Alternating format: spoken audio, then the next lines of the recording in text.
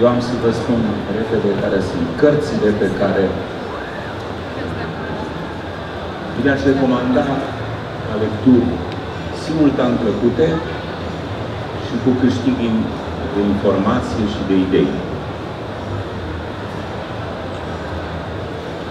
Pe mine m-a atras în mod aparte, nu, am făcut un elogiu deosebit acestei cărți.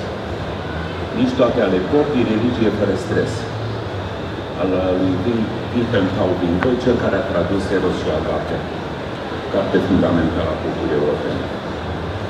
Cartea asta, spuneam, este scrisă pentru credincioșii din România, necredincioșii din România și pentru preoți din România. Așadar, toată lumea are motive să o citească. Niciodată, cred, limbajul unui teolog n-a atins acest nivel de simplitate și de dezinhibiție totală în fața problemelor în care se naște ușor fanatismul, așadar în marginea oricărei religii, a creștinismului inclusiv. Nu întâmplător, merg la următoarea carte, care e prezentată aici ca fiind cartea de istorie anului 2018 de către The Daily Telegraph, Observer, BBC, History Magazine și mai departe, și New York Times, cartea unei cercetătoare clasiciste, totodată istoric, Catherine Nixey, Epoca întunecării, cum a distrus creștinismul lumea clasică. Dragii mei, nu vom fi liberi decât în momentul în care vom putea cumpăni lucrurile nu numai cu inima, ci cu mintea. Nu e, s-a scris enorm despre cât bine a făcut creștinismul, Occidentul, omenirii și care e aportul creștinismului la nașterea Occidentului, la morala noastră, la marea arta Occidentului și la tot ce a însemnat mitologia creștină pentru toate creațiile din această parte a lumii care au devenit valori universale. Nu văd de ce, dacă fiecare lucru, îmi spunea un foarte simpatic filozof grec, Epictet, seamănă cu o cratiță care are două toarte, una de care când apuci te arzi și una de care când te apuci te ajuți de lucrul ăla, de ce în cazuri de genul ăsta trebuie să băgăm sub preș uh, toarta cratiții care ne arde? Cele 47 de milioane de morți pe care au făcut războaiele religioase creștine și ceea ce au distrus creștinii fanatici în ultimul hal, primitivi, pentru că îndoctrinați de episcopilor, că tot ceea ce aparține păgânismului antic trebuie distrus. Așadar, între secolele 5 și 8 a fost o devastare făcută în numele fanatismului religios, în care au dispărut opere întregi ale antichității, integral opera lui Democrit, au dispărut statuile jumătate din marile statui ale lumii grecești și templul din Palmira, care a fost distrus total de o bandă de fanatici în secolul V, care a fost refăcut, nu știu exact după câte secole, și redistrus în două, trei zile, acum un an, doi, de către islamici fanatici. Trebuie să privim aceste adevăruri în ochi, tocmai ca să ne ferim ca numele unei credințe a milei și iubirii, religia să încape pe mâinile unor fanatici. Drept care cartea asta trebuie citită, nu pentru că înjură creștinismul, ci pentru că arată cum arătăm noi, oamenii, când pe mâna noastră încap lucrurile înalte ale, tot ale noastre. Paul Johnson, creatorii. Nu, nu, nu. Ah, pardon, am crezut că vreți să vă cuvântul. Da. Mulțumesc, aplaudăm. Deci, creatorii lui Paul Johnson E o carte încântătoare pentru că Paul Johnson e un fenomen neclasabil. El scrie deopotrivă despre Stalin, Mozart, uh, cei mai mari autori ai lumii, scriitori ai lumii, scrie despre orice.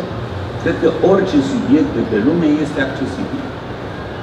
Cartea care l-a făcut faimos a fost intelectual, scrisă acum vreo 30 de ani și în care ne-a arătat portretul ușor abject al marilor intelectuale ai lumii, cu turpitudinile lor, cu, cu viciile lor, cu meschinăriile lor.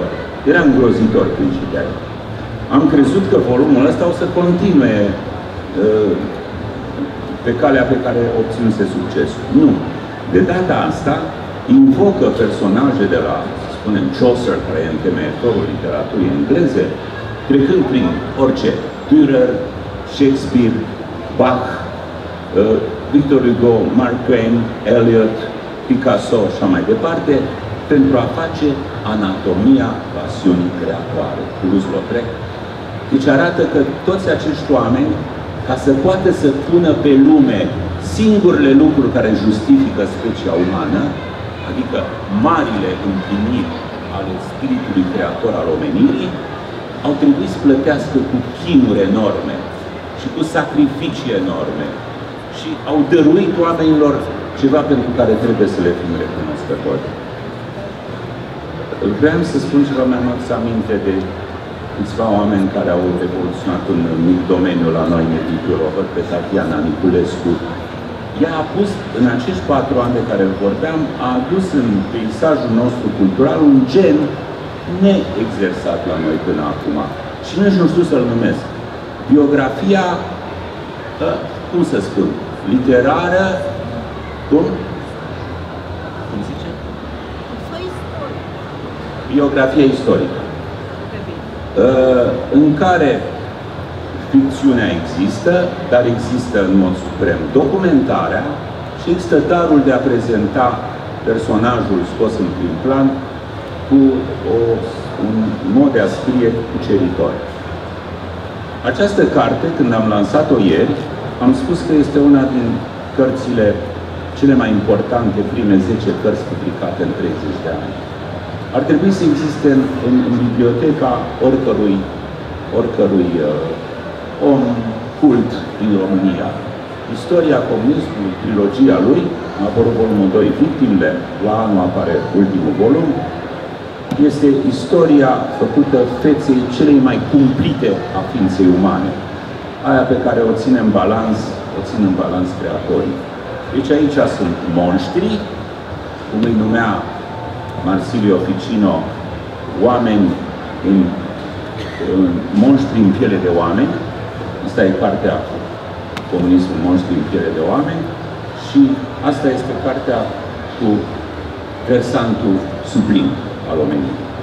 Și acum, ca să ne distrăm în final, vă spun și ca să pot să arăt cam în ce hal arată în continuare facultățile noastre, o carte a lui Pierre Hadot, care este un, un uh, tip de mare clasă, un clasicist faimos uh, al Franței, uh, european, uh, care cunoaște ca nimeni altul filozofia greco-latină, și care a scris o carte superbă de cum vorbi filozofia ca mod de viață. Scrisă, dacă nu mă înșel, prin deceniul al IX-lea al secolului trecut. Acum 5, 6 sau 10 ani, un băiat de la filozofie și-a dat doctoratul cu o carte care se numea Filozofia ca mod de viață. Deci dacă vă duceți în facultatea de filozofie astăzi și spuneți filozofia ca mod de viață, asta înseamnă a plagia un titlu. Uh, și nu e un titlu oarecare, pentru că titlul ăsta e celebru. Ori s-a bazat pe ignoranța profesorilor, pe ignoranța anturajului academic și în clipa de față, vă rog, când cereți filozofia ca mod de viață, s-ar putea ca să vă întrebe librarul, a cui? A lui Pierre Adot sau a lui Ftimie? Așa că trebuie să știți să spuneți. Mulțumesc!